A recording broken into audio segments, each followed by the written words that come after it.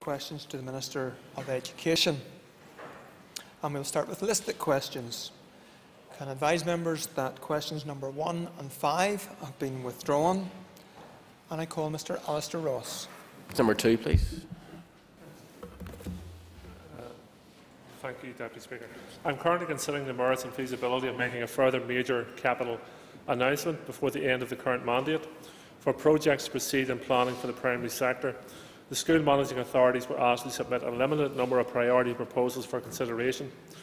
Due to the demands in the Department of Education's capital budget, all projects that are prioritised by managing authorities for investment are considered by my department against a protocol to determine the projects that should proceed in planning at that time. A similar protocol developed for the last major capital announcement in June 2014 will be used to gateway score the projects and ultimately produce a prioritised list for those for announcement. I call Alastair Ross for supplementary. Thank you, Mr uh, Deputy Speaker. I, I, I, listened to the Minister saying he was considering whether to make an announcement before the end of the mandate. Given that this Minister has already announced that he won't be the Education Minister post-May and perhaps even a different uh, party will, will occupy that post, can I ask him whether any announcement that would be made before the end of the mandate uh, would hold true after the election, or whether those schools, such as Islandmagee in my own constituency, who have been waiting patiently for over a decade for a, a new build, uh, would have any confidence that such an announcement before the end of the mandate would be followed through after May? Well, uh, I understand why the member would ask such a question, but if you follow that through to its logic, then no minister should make any announcement uh, from this point onwards, uh, because no one knows who's going to be in a ministry following uh, the May elections, which party will hold the ministry or which personalities will hold the ministry. What I'm trying to ensure here is that we have a rolling programme of school development and, and bills moving forward into years ahead.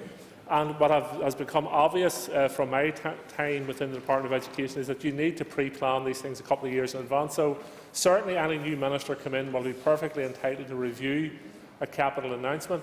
But I would caution anyone who's in the post by saying that uh, if you wish to continue the investment in schools, if you wish to continue the investment in the economy and the construction industry, then you have to allow these programmes of work to develop, and it will take maybe 18 months to two years to deliver some of these projects. I call Dolores Kelly. Thank you, uh, Deputy Speaker. Uh, could I ask the Minister in particular uh, about St Ronan's College in Lurgan? He, he, will, as a fellow constituency representative, know of the particular difficulties over a, a three-split campus. And if he could also give me an update on Lismore Comprehensive School new build. Uh, both the, the, new bill for St Ronan's and the new bill for Lismore are moving along as planned, business cases etc. proceeding and the schools are involved in detailed discussions with the relevant authorities around developing those building programmes. Uh, as you know, the Lismore School is going to move on to the site behind where it currently is. St Ronan's is going to be built on what was known as the St Michael's site, though there will decant previous to that build onto what's now the St Paul's site, and that's expected to take place. Uh, the decant is expected to take place. It could take place uh, in December of this year, but I think the school are, don't want to decant mid-term, so maybe we'll wait until uh, the September 17 decant, our, our period to decant them on the St Paul site. But both of those schools are proceeding as planned. I call Jo-Anne Dobson. Thank you, Mr Deputy Speaker. Um, does the Minister not recognise the frustra frustration in the community when announcements about new capital projects are made, but years actually pass without nothing happening on the ground? So could I ask the Minister what does he believe is the root cause of this? Well, uh, if you're spending significant amounts of public monies, the reality is that you have to go through uh, a, quite a lengthy list of procurement, business cases, site identification, etc., before you can actually lay one brick on top of the other. And I understand it's frustrating. And one of the reasons why I, as Minister, have, not, have made the decision to make limited announcements at each stage is to ensure that we can progress bills uh, to a point where they, they, are going on site within a reasonable period of time and that we don't make uh, announcements of the previous direct rule minister, for instance, uh, made an announcement of over 110 new school builds. They hadn't the money to build them, and there was no possibility of many of those schools being built within a 10-year time frame. So yes, I do understand the frustration, but I do believe now that my department has put in place measures which ensures that schools do go on site within a timely fashion. I call Chris Lyttle. Thank you, Deputy Speaker. Can I uh, welcome the £4 million investment in Strandtown Primary School in East Belfast as part of the school enhancement programme delivered by the Minister and ask him uh, what benefits he thinks that will bring to the over 1,000 pupils at the school. Uh, th this is one of the areas where I think uh, the Department of Education has been innovative and delivering uh, radical change to the schools estate by de developing the School Enhancement Programme. I've been delighted over this last number of months to visit numerous schools who have had up to £4 million spent on their schools estate, and it has revitalised and refurbished the school estate uh, and ensure that it's fit for purpose going into the future. And Strandtown will be no different. This investment in Strandtown will provide the much-needed facilities for that school. It marries in with the recent development proposal uh, I approved for the school and will ensure that the school is fit for purpose uh, going into the future in terms of its facilities. I call Alex Attwood. Uh, question number three, Mr Deputy Speaker. Uh, Mr Speaker, with your permission, I will answer questions 3, 9 and 10 together and would request an additional minute, which I think is in order. Uh, it was teachers' unions who brought this idea to, to me in 2012. At the time, I did not have the funding to develop this proposal further or to implement it. Most recently, I secured agreement from the Executive for the Public Sector Transformation Fund to be used for this scheme. The 33 million was secured on the basis that the overall aim of the scheme is to refresh the teaching workforce through release of teachers aged 55 plus and recruit recently qualified teachers. While this scheme is not about saving money, in line with all schemes funded by the Public Sector Transformation Fund, the funding was secured on the basis that the scheme would re release cost savings. This scheme will provide up to an additional 500 teaching job opportunities, which would not otherwise exist. In addition to these new jobs, in the last five years, there have been in the region of 500 permanent teaching posts and in excess of 250 meaningful temporary teaching posts, which are jobs six months or over, coming onto the job market annually. However, for these 750 job opportunities, teachers with least experience, that is the most recently qualified, have often been sifted out before interview effectively, eliminating them from these opportunities. And I ask, where is the equality for them and who speaks for them? I have been challenged to open up the scheme to any teacher without a permanent post. If that's what some members want me to do, then I take the proposal to the Executive.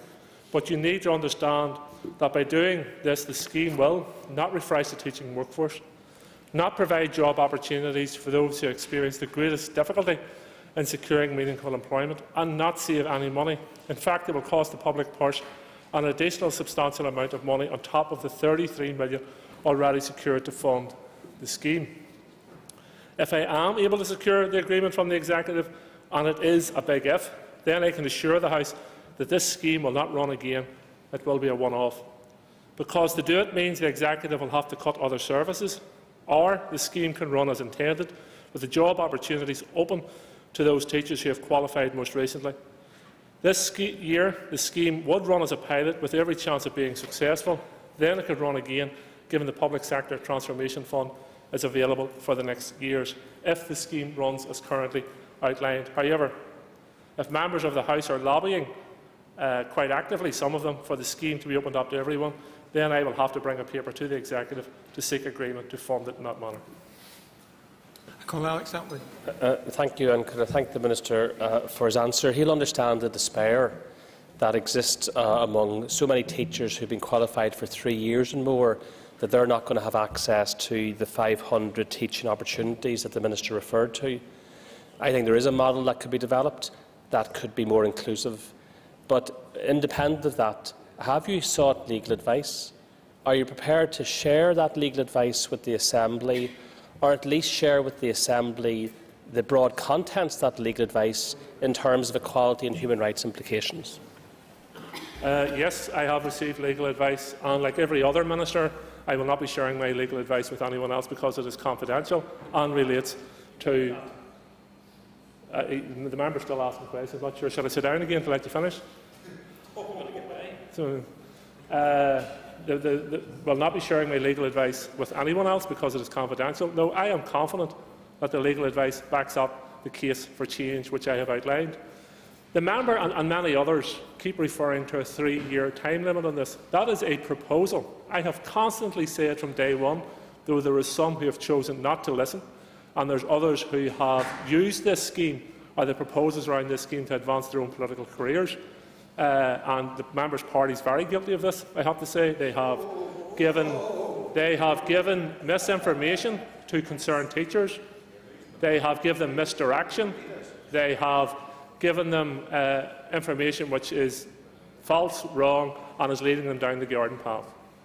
I have also received advice from the Equality Commission, and I'm satisfied that our discussions with the Equality Commission uh, are fruitful, that we will continue to discuss with them, and when a final proposal is agreed by me, it will be presented to the Equality Commission for their views. So all those discussions are ongoing. But the, the member says to me he's confident that another scheme, an inclusive scheme, can be developed. I can develop a scheme which will allow all teachers to apply. But it's going to cost the executive money. And since I got agreement from the executive in the first place to fund this scheme up to £33 million, I'm going to have to bring a paper back to the executive and ask the executive, are they prepared to fund the scheme which will have all teachers applying to it? And then the members' concerns about equality. What about those teachers who are at most disadvantaged? Those who have qualified in this last three, four, five, six years. Where, who's speaking for them? Where's their equality? Who's speaking up for their job opportunities? Because the member has chosen one side of an argument, of a very, very The complex Minister's argument. two minutes is up. Um, could I encourage everyone to, to address the chair and, and to, in order to ensure that uh, Hansard is able to pick everything up? And I call Adrian McQuillan. Thank you. Uh, can I thank the Minister for his answer so far? Minister, can you put a timescale on when this scheme will be rolled out and if you have reconsideration of the, the years that the, the teachers that are, are finished in the colleges uh, can apply for it as well? I am actively considering the option of extending the scheme, as I said from day one. Uh, the initial announcement was around those who had qualified in the last three years will be able to qualify. But I've always said I'm looking at the broader parameters of the scheme, and we're seeing in terms of both in terms of the implications for those teachers who have qualified in this last four, five, six years in terms of how they're able to access employment, because those who cry equality want to ensure that those who are at most disadvantaged, those who have qualified recently, are given an opportunity to apply for meaningful posts. And I'm also looking at the cost implications of that. But uh, uh, this is going to take a number of weeks. There is a, a, some within the chamber, some without the, outside the chamber, who are calling for the scheme to be opened up to everyone. If it is to be opened up to everyone, I'm going to have to bring a paper to the executive, and that in itself will add to the time frame as well. I call Sandra Overend. Uh, thank you very much, Mr uh, Deputy Speaker, and I thank the Minister for, for the response. Indeed, I'll be interest, I would be interested to hear um, about the discussions uh, with the Equality Commission um, that the Minister says is ongoing.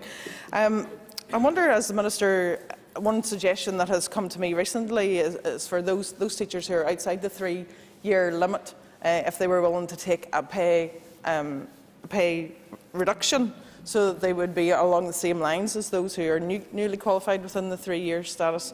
Um, if that would be something that the Minister would uh, take into consideration, and then it would qualify for the limited funds that the Minister is allocating uh, to this to this scheme. Um, but furthermore, does the Minister recognise uh, that the fundamental problem that there are too many teachers uh, being Question, trained? please. Uh, probably that's a couple of questions there. If the, if the Members are if the- entitled to one question. Please complete. Members are invited to ask a question. Please complete. Uh, why does the Minister insist on topping up the amount of places uh, for, for teacher training at a time when we're critically short of nurses and engineers? Um, I am, uh, well, I'll take those questions in reverse order. We have reduced the number of teacher training places over this last number of years. And I've said in the House before, the more we reduce our teacher training places, the more students who leave these shores and go to England or Wales or Scotland or, or, or across the border for teacher training. And then many of those come back to here seeking employment. So the more we reduce our teacher training numbers, the more leave. And we are now in the position where if the member is suggesting we reduce them further, what she's actually saying is we close our teacher training colleges. I do not think that's a sensible proposal. Uh, in relation to reducing the wages or the salary of all teachers down to the start of the pay grade or, or the main pay scale or maybe halfway up the pay scale, I think you're opening up like a Pandora's box there in terms of public sector pay. And I don't wish to open it because I believe once we start breaking uh, are breaching agreements around pay uh, with, with public sector workers, or in this case teachers, then where does it end? Do we do what has been happened uh, in the south, where they're bringing in teachers, newly qualified teachers, and paying them a completely different pay scale than those who qualified one or two years previously? I'm not prepared to go down that road. I know uh, the SDLP were down canvassing in the south for a party which does do that. Uh, but I'm not prepared to go down that road. I'm not prepared to mess about with public sector pay agreements. I call Peter Weir. Thank you, Mr Deputy Speaker, and it's good to see we're ending on a spirit of bonhomie. I'll try not to give the Minister a multiple choice answer. The Minister indicated that the initial proposals came from the teaching unions. I wonder if the Minister could outline what discussions he's had with the teaching unions since the announcement of the scheme to try and find a way through this uh, to provide a, a reasonably satisfactory answer in terms of a final scheme. We have established a working group between the employers and the, the, Teaching Council, uh, and there's discussions ongoing around that table around the scheme. I have had uh, discussions with the trade unions, both in terms of a formal setting around a range of other issues they've been presenting with me, and we touched on this. And indeed, I am presenting myself to the teacher uh, unions conferences. Uh, there was one on Friday, and one of the members spoke at it on Saturday. Uh, and there's a range of those over the next number of weeks. And I'm measuring opinion from them as well. And I think the member will reflect that there's a mixed opinion uh, coming back from uh, the membership, certainly, on how the scheme should proceed. So I am uh, listening to what the informed views of people in regards to this matter. I am separating uh, some of the more ill-informed commentary that comes across at times and I am looking at options available to me and to the executive because I keep coming back to this point. The executive set aside £33 million uh, of the Public Sector Transformation Fund to fund this scheme. I cannot deviate from that unless I get agreement from the executive, and to deviate from it in the means for which some are calling for will mean that actually it's going to cost the executive a significant amount of money over a number of years. And if we go down that road and the executive agreed it, so be it. But I do think we're losing an opportunity in relation to this scheme, not only this year, but next year and the following year, where you could allow up to 1,500 teachers to retire early and up to 1,500 uh, positions to be filled. But uh, as I say, I'm listening, and the final proposals uh, will be published as soon as possible. I call Raymond McCartney. Las Coil agus go bhuigus leis an air on the fragration. Uh, thank you very much, Deputy Speaker, and can I thank the Minister for his answers. In his earlier answer, the Minister talked about the disadvantage that newly qualified teachers have in bringing about this scheme. Would the Minister agree this is something like social clauses where we insist in capital build that there is advantage built in to ensure the long-term unemployed get good proper advancement as well? Well, the member makes a very good point because uh, there's those who they tell me that I'm, I'm, I'm breaking equality legislation or I'm breaking the law or I'm actively involved in discrimination, even though on a daily basis government departments are involved in discrimination. But you have to have a justifiable reason to be involved in that discrimination. It has to have a broader positive outcome uh, for society or the project you're involved in. And I, I find it difficult, I have to say, when people argue for equality, when they ignore those teachers who have qualified in this last up to six years, who find it the most difficult to find employment, that when we introduce a scheme for it, that there's only one side of the argument heard or broadcast or shouted through the most. I am involved here, as you have said, in a programme of work which is trying to uh, give advantage to those most disadvantaged in finding full-time employment. That's the core of this scheme uh, and I will work my way through it. But the member makes a very good point. The executive does this in other, in other areas of work. We put stipulations on multi-million pound contracts going out there to ensure that we give those at most disadvantage an opportunity in the workplace. So I find it difficult for people to support that and then have some sort of moral objections to this. I call Rosie McCorley. Keshta Cahir, question four, please. Since May 2011, my department has provided a range of support and investment to encourage and facilitate the development of Irish medium education. I have responded to the growing demand and approved the establishment of three nursery units, four new primary schools and a new post-primary school.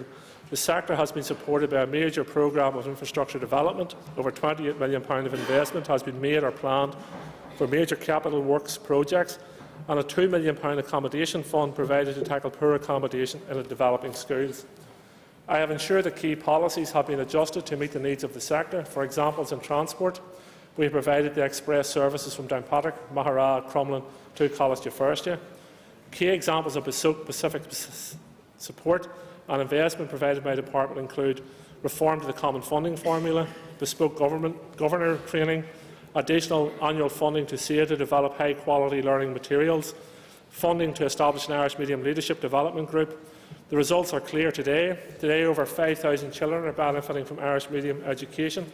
It is the fastest growing sector. Uh, further inspection evidence clearly demonstrates that successful Irish medium schools and units are providing high quality teaching and learning in schools closely connected to their community.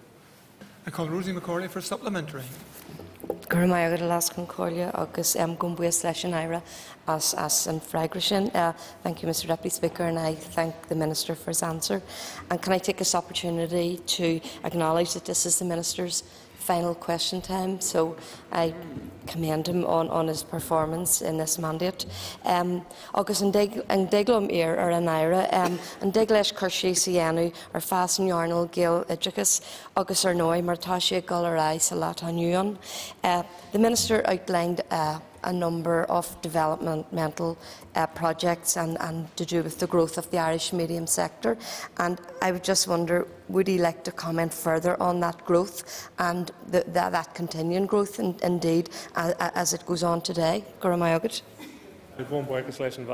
Um, well, I think in terms of the growth in the Irish medium sector, we've seen a sector which was largely driven by uh, a very dedicated uh, community voice in terms of those Gaeilgeoirs who were dedicated to the promotion of the Irish language and the promotion of education through the Irish medium.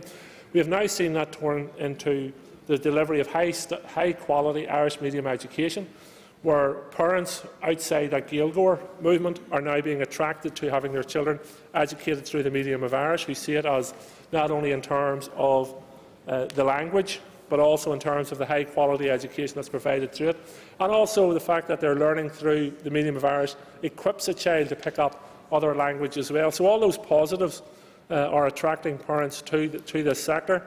I commend the professionalism uh, of, of, our, of our principals, our Board of Governors, our teachers, our, our, classroom assistants and all of that. But I think, and I've said this as well about the integrated sector, for it to continue to succeed, it has to hold on to its community roots. I call Alistair Patterson. Thank you, Mr Deputy Speaker, and I note with interest the Minister's comments thus far. Does the Minister also recognise that sustainability and affordability are duties that the Minister must also take into consideration, that when making decisions on Irish medium against official advice and against the recommendations of his own ministerial advisory group, as in the case of Dungiven, and which will possibly be the case if going, if going ahead with the Lisnaskea project, Many people will come to the conclusion that he has made decisions on political and not evidence-based grounds. Um, I thank the member for, for his question. And the, the, member may become as a surprise to the member, but I am a politician. Uh, I, I'm not the, anything else other than a politician. And you'll find that ministers, by their very nature, are politicians, and we make political decisions. Uh, every minister in this chamber does likewise, and as they should. We shouldn't be ashamed uh, of, of, practicing politics. Uh, it has many positives and many benefits for our society.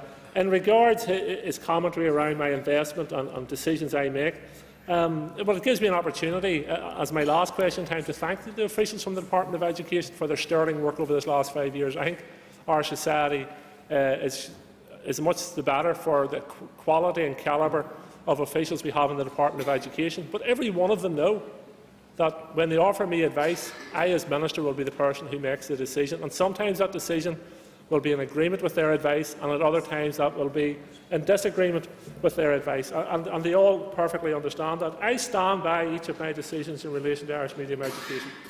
I stand by on the basis of it being the right and proper thing to do in terms of the development of Irish medium education. I take into account every decision I make in terms of uh, the costs related to that uh, I take into account all the, the, the, issues which the member has raised before I make a decision. But I believe that the decisions I've made to date were the right and proper decisions, and uh, I have no doubt that the Irish medium sector will continue to go from strength to strength. I call Trevor Lunn. Uh, thank you very much, Mr Deputy Speaker. Uh, speaking as one who doesn't have a difficulty with the, the ministerial duty to facilitate and encourage the Irish medium sector or the integrated sector, but could I ask the Minister to comment on the fact that in, respect of the shared education movement, he has an additional duty to promote as well as facilitate and encourage, and does he think that that's equitable? Gormley Agate. Going back, leis an ball encased. Uh, well, there's clearly, there's clearly a different emphasis uh, within the legislation, and I know the member has made attempts during the journey of the Shared Education Bill to certainly uh, bring equality in terms of the integrated sector, uh, but I think if we're going to change the legislation across the board, we have to change it for both the integrated and the Irish medium sector. Uh, we will find out as time progresses as to whether this term promote is to the advantage of the shared education centre, which means it doesn't automatically mean it's to the disadvantage of the integrated sector, the Irish medium sector, or if it, or if it has little or no impact. Only time will tell that. But uh, I'm sure uh, the next legislative opportunity the member has, he will be raising this matter again. Question number five has been withdrawn. I call Steven Agnew. Number six. The Fresh Start Agreement makes provision for up to 50 million of capital funding for, uh, for each year for the next 10 years for a programme of investment in shared and integrated education projects. I welcome this funding to help provide new and upgraded accommodation for the schools in the integrated sector and to help incentivise good quality shared campuses uh, moving forward. Discussions are progressing well with the NIO, Treasury and the Department of Finance and Personnel to determine the parameters within which this additional funding can be utilised. However, I am not yet in a position to be able to announce how this funding will be allocated. I call Steven Agnew for supplementary. Uh, thank the Minister for his answer. The Minister will be aware of the situation of Priory Integrated College, whereby uh, its proposal for a new build is locked in um, with a, a, restructuring of the school estate in, in Holywood. Um, can the Minister give me any guidance as to whether or not should Priory, for example, be eligible for funding through a fresh start? Can there be um, a, a tied in with, with other uh, infrastructure funding to ensure that the whole scheme is completed and that Priory doesn't lose out because it's tied in with other uh, Holywood schools? Um, well, I think certainly the, the new funding under the Fresh Start Agreement gives us an advantage in relation to situations such as Priory. And if you were planning going forward and, and using some of the, the Fresh Start Agreement, for instance, around Priory, then you would plan in such a way that you're using uh, other monies or other funds to open up the other building programmes that are needed uh, in around that area to ensure that Priory can move ahead. So I, I think, you know, while I can't be definitive in terms of announcements today, I, I never thought I would use the, the sentence. Discussions are progressing well with the NIO, the Treasury, and the Department of Finance and Personnel. Like there's three diverse groups uh, who don't always, and I don't always agree with any of them, but I have to say the discussions over the last period of time have been very, very good, very progressive, and it's clear to me that uh, all partners around the table want to ensure that this money is delivered and projects are delivered on the ground. So I think if the member has just be a bit patient on this matter, he, he may have some good news in the weeks ahead. I call Bronwyn McGahan. Seven. Since coming to office, I have been determined to take action to break the link between social disadvantage and educational underachievement. Through the weighing of school funding and through targeted programmes such as extended schools, the full service programme and nurture units, I have provided additional resources to schools serving the most at risk of underachieving.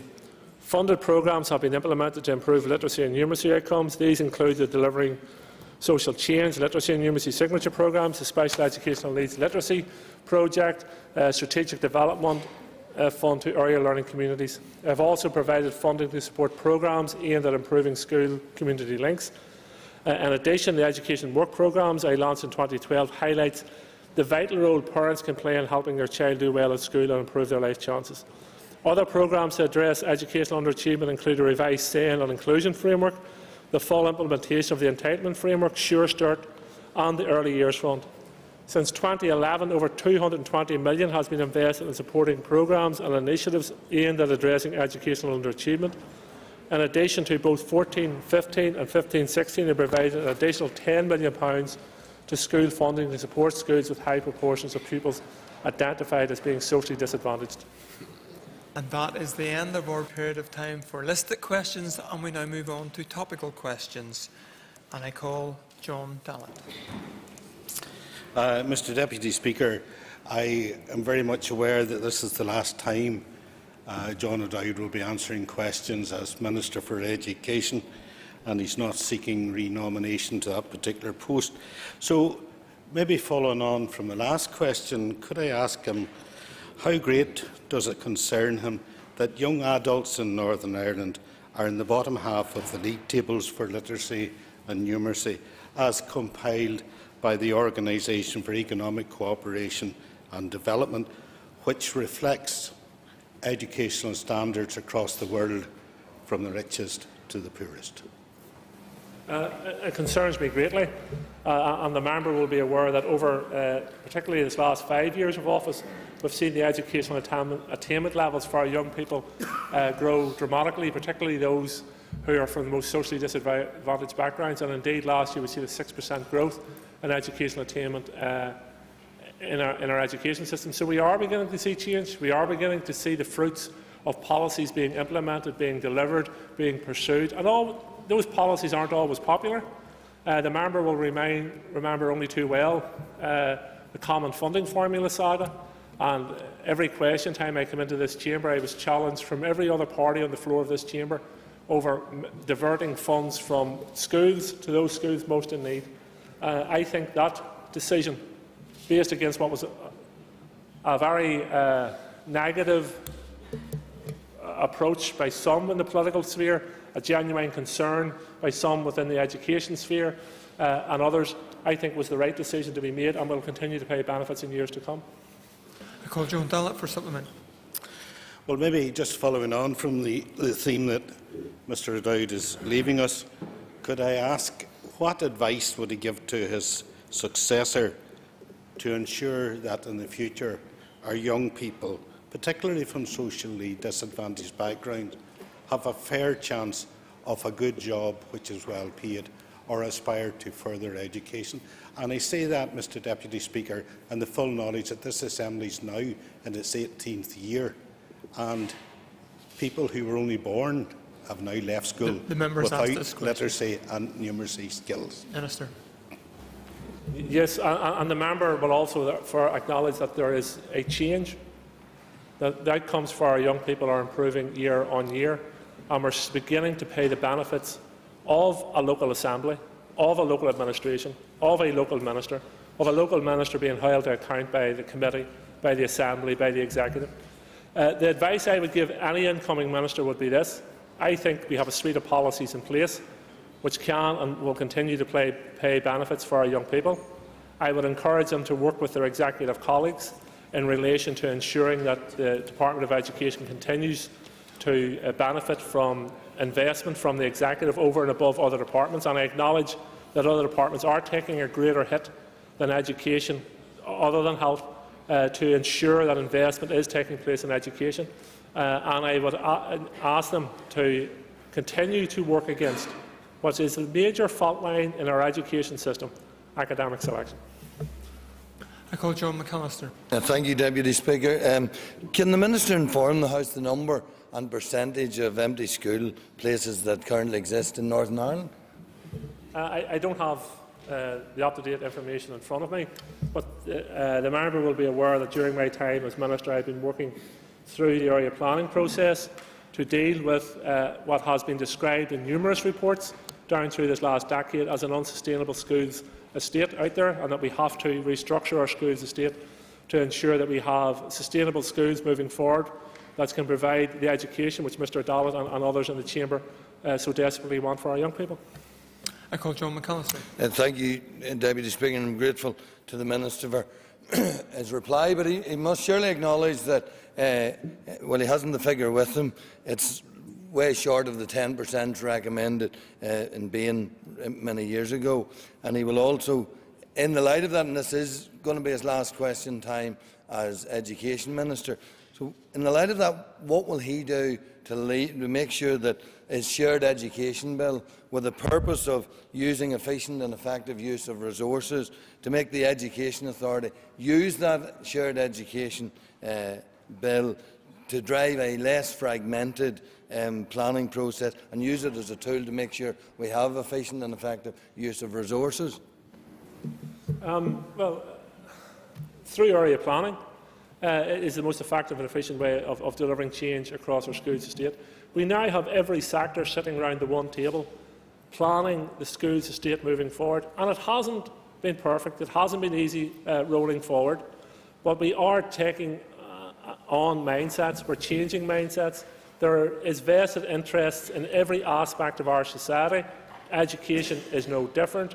But I do see a willingness and a, and a change of attitude from five years ago when I stood in this chamber. excuse me, Deputy Speaker. When I stood in this chamber in September 2011 and read out uh, my statement, Putting Pupils First. And at the very heart of that statement was a proposal for an area planning driven process moving forward. There was deep concern across the chamber, there was deep concern across the education sector about that. But now we have buy in that there needs to be change, there needs to be re, a realignment of our, of our schools estate, and there needs to be greater sharing uh, to achieve that. So I'm optimistic about area planning going into the future. Uh, I believe we have the right recipe. We just have to make sure that it moves forward properly. Moving on, I call George Robinson. Uh, thank you, Mr Deputy Speaker. Would the Minister state what funding in his departmental budget he has applied for to ensure new school builds throughout Northern Ireland? Excuse me. Uh, our, our, capital budget for this year has actually increased on last year, uh, and I'm actually quite pleased with uh, the outcomes uh, of our capital budget. Um, uh, la last year, our capital budget was 147 million. Uh, this year, we're starting off with, with, a much increase. I think it's around 180 million pounds. I'll confirm that figure with the member uh, in writing, but we have quite a significantly increased capital budget, which means we can move forward and catch up on the backlog of minor works. We can move forward with the school enhancement programmes that have been delayed. We can announce a further build for the primary school sector, uh, and we can make real significant changes to our schools estate. Call George Robinson for supplement. Thank the Minister for his reply, and uh, could I ask the Minister, could he ensure that existing schools in the East Londonderry constituency will be given the funding to new build were required, such as Melbourne Primary and uh, Cologne Primary? Well, uh, the, the, the, member quite rightly refers to schools within his uh, constituency, and, and in fairness, he, he, regularly lobbies and campaigns for uh, schools within his constituency. We will continue moving through, forward through uh, the building backlog which we have, and uh, I, am conscious that if I do make a statement around new builds before the end of this mandate. I'll please a few and disappoint many. But I, I, think we have to continue to chipping away to ensure that we, we continue the building programme. And every time we introduce a new batch of new builds, it means the list gets shorter and that more schools move forward with the opportunity of getting a new build into the future. So I think, and uh, uh as I said earlier, I would encourage the next Education Minister to work closely uh, with his executive colleagues around the budget. And in that budget, I would include capital because not only is it improving the school's estate, it's making a significant impact in the economy through the construction industry. I call Adrian McQuillan. Thank you, Deputy Speaker. Uh, Minister, you told us early, uh, an earlier answer that there are 5,000 children availing of the Irish medium uh, education system now at the minute. Could you tell us how many pupils actually attend the Irish medium school in Dungiven? Um, approximately, I, I, think there's around 17 pupils attending the Irish medium uh, school in Dungiven. Uh, but the member will be aware it is the only post-primary Irish medium school in that entire area. The only other, the, the only other facility is in Coláiste in uh, Belfast. So I think it's only right and proper that we facilitate Irish medium education in that area. There is a significant number of these school nurseries, bond schools in that area, primary schools, which will allow for Gaelscoil Dheartha to grow into the future and to become uh, a school which all members, hopefully in the chamber, will pay a wee bit more respect to. Minister, it sounds to me as if it hasn't got very much support in the area. If there's only 17 pupils going to it at the minute, but could you break that down then as well to tell us at how much per pupil it's costing to have that school in Dungiven compared to, to a school, say, in Limavady? Uh, I, I don't have the figures in front of me, but I'm more than happy to supply the member the figures. And perhaps we should supply the figures how much it would cost to bus the children to Coláiste Feirste in Belfast, uh, or uh, how much it would cost the children to, to travel other distances to continue to be taught through the medium of Irish. Uh, th these children, and there's many in this chamber who tell me they support parental preference, parental choice. These people's parents want to be taught through the medium of Irish. Why is that seen as such a threat to yourself and others?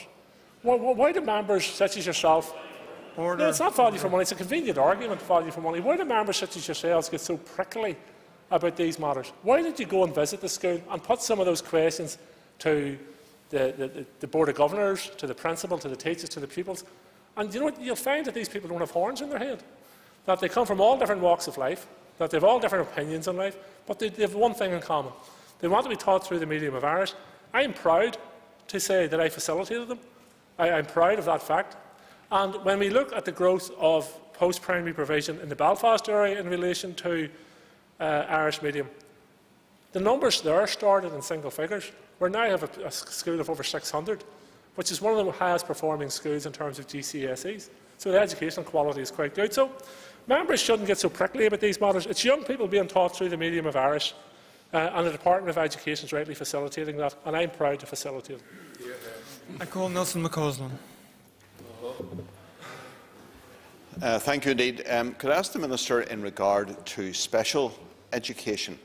One of the issues that is often brought to my attention by parents of children uh, who uh, attend special schools is the fact that there is an imbalance in the distribution of the schools in the Greater Belfast area, with particular deficit in the North Belfast area. And um, would he give me his thoughts on what he intends to do uh, in the next few weeks while he's still there um, to uh, address that issue and what he has been doing to address it.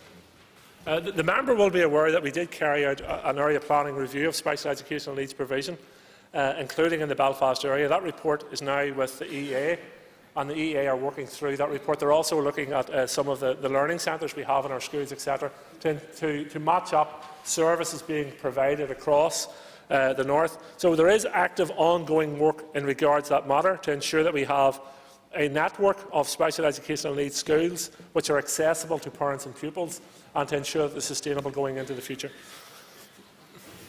Mr Colin Nelson McCausland.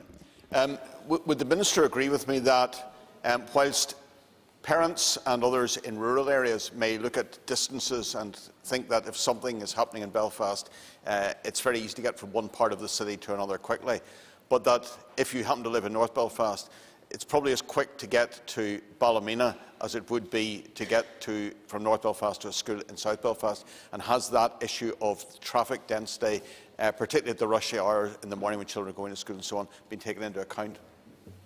I, I do take on board the members' comments, and, and, some of my young colleagues from Belfast constantly remind me of, of the travel times, regardless of distance, the travel times across Belfast in the mornings or the afternoons when, when school times are running. Though that, that accessibility has been taken into account and that has to take into account travel times, whether it's in Belfast or elsewhere. I call Gordon Dunne. Thank you, Mr Deputy Speaker. How can the Minister justify the fact that in Ards and North Down area there has been no new schools built since 2011, whilst there has been 56 in the rest of Northern Ireland, including four in Lurgan, which happens to be in the Upper Bann constituency? Uh, the, schools in the Upper Bann constituency, I can tell the member, have been waiting for decades on new builds. Uh, yes, but they've been waiting on decades for new builds. I just happen to be in the right place at the right time in regards to that matter. Uh, why, why has there been no... Why, the member asked the question in relation to... I, I assume he's referring to, in particularly in relation to Holywood. The member knows the equation which we're trying to solve in Holywood. It, it's, it's, a domino effect of trying to get one school moved off, to get another school moved onto a site, etc., etc., etc. I can assure the member I have been trying to work that domino through, uh, that domino effect through in terms of the budget we have, and I refer the member to the previous question uh, asked by Mr Agnew earlier in regards to that matter. I think there may be light at the end of the tunnel. And that is the time up for questions to the Minister of Education.